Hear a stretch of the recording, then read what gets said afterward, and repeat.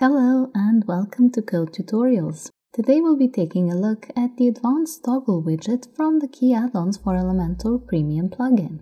What is an Advanced Toggle? Well, it's a page element that lets you switch the display between two different pre-prepared section templates. So, in practice, it can look something like this. This is the toggle, and by flicking the switch, you can see one of the two templates you add. In this case, it's payment plans. You can decide how to style it. The widget has a number of style options to help you, and any section you choose to combine it with, whether a payment plan or something else, will have its own settings as well. And that's an important thing to note. The advanced toggle can work with pretty much anything. For example, this section here is a client list, but with carefully selected images and titles, and you can toggle between the two views. By the way, this is the section I'll be breaking down for this tutorial, but the options we cover will help you create a copy of any of these examples, or to make something entirely unique.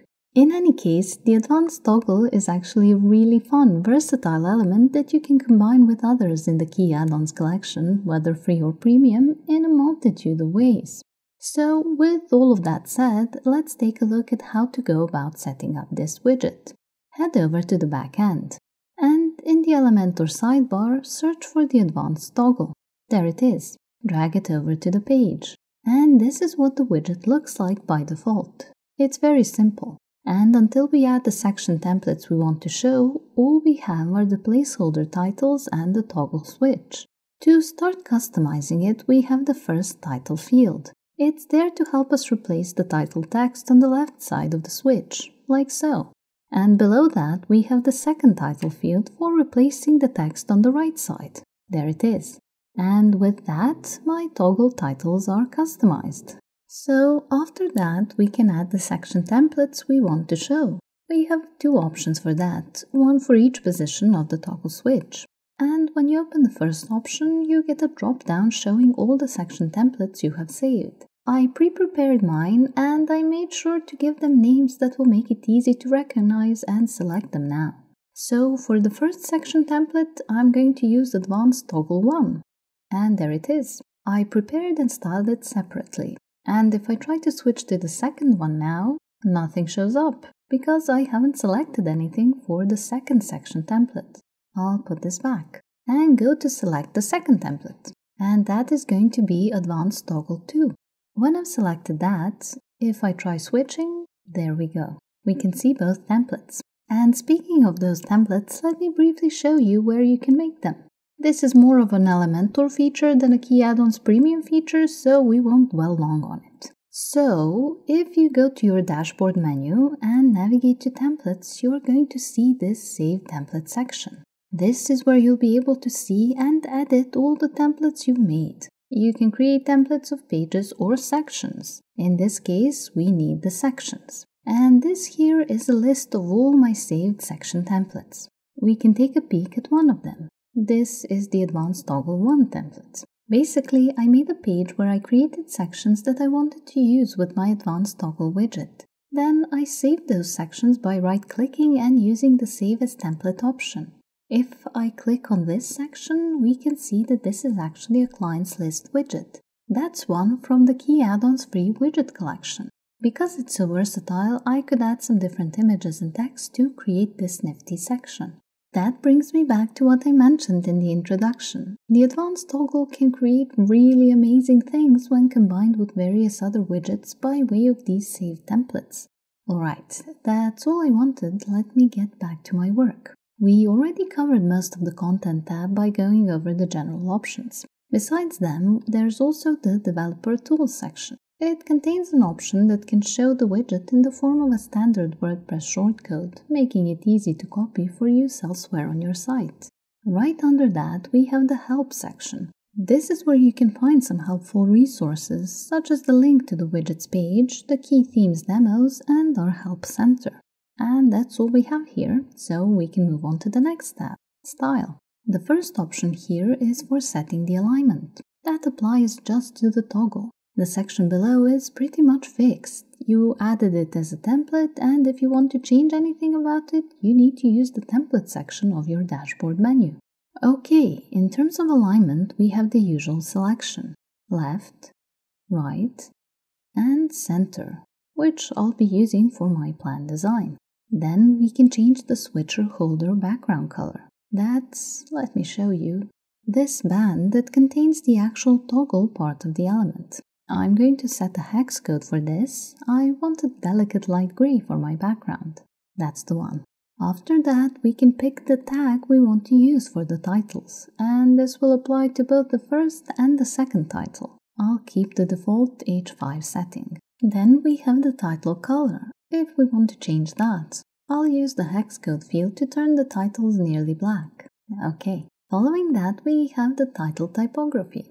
In here you can change things like the font family for the titles. There is a wide selection for you to choose from. You can change the font size. I'll leave mine set to 21 pixels. I'm happy with the look. Then we have the font weight. The default value here is 500 by the way.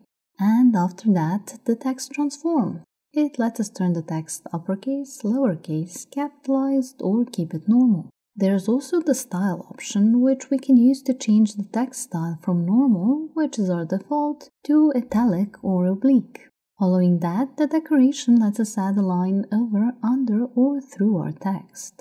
Finally, we have the line height, letter spacing, and word spacing if we want to add more space either above and below our text or to spread out our letters or words. And that's it for the typography options. This also brings us to the next section, the switcher style. The first option here is for picking how the toggle switch will look. The default setting is rounded and it gets us this look. We can replace it with square so we have this look. I'll stick with rounded for my design. There. Now, before I show you the next few options, I'm just going to skip down to the background color and set that. And the background color applies to the background of the switch itself. I'm going to set solid black for this. Alright, now I can go back to the options I skipped and change the button color. That is for this switch part of the toggle. I'll set mine to be plain white. And this is why I set the background color first, so we could see the button now. After that, we have the button border color. I'll set a random color as an example, and then increase the border width. And there. Now this switch or button has a border around it. I don't plan on using it, so let me reset this. There. Then we did background color, so the next option is border color for the toggle background. I'll set, for example, this, and then increase the width so we can see it better. And there's the border now. Alright, I'll reset this. Only I'll put black for the border color as there is a default 1 pixel border, although it may be too thin to easily make out.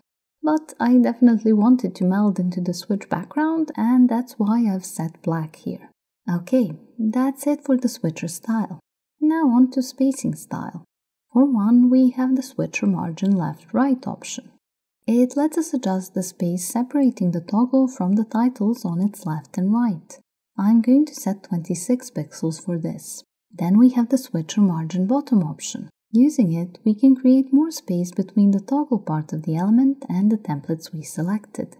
I want a bit more breathing room here, so I'll increase it to 56 pixels. Perfect. And finally, we have the switcher holder padding. By increasing it, you can see how the space around the toggle and titles changes so we can add padding around this entire bit of content. However, the padding we add on the sides makes little difference as the content is far shorter than the width of the element. So, since there's no need for me to change the padding on the left or right, I'll click here to delink the fields and then I can set the values only for the top and bottom sides. And those are going to be 34 pixels for both. And that's it, my element is done, so I'll just hit update to save my work. I can check it one last time. Yes, the toggle works, the templates I picked show as they should and when they should. The content and style I wanted to use are both here. So that was the advanced toggle. And now that you know what kind of options it offers, you can take another look at the page that we started from and re-examine the examples you find here. Now that you have a better grasp of how this widget functions, you should find it easy to recognize how each of these was put together, which allows you to copy the ideas you see here or use them as a starting point for your own design solutions. No matter what direction you choose to go in, we hope you found this tutorial on the advanced toggle widget from the Qi add-ons for Elementor Premium plugin helpful, and that you will shortly be on your way to making toggle switches like this for your own site. If you have any questions, comments, or suggestions, please drop us a line in the comments below. Also, make sure to subscribe to our channel and be the first to learn about new theme guides and tutorials. Thank you for watching.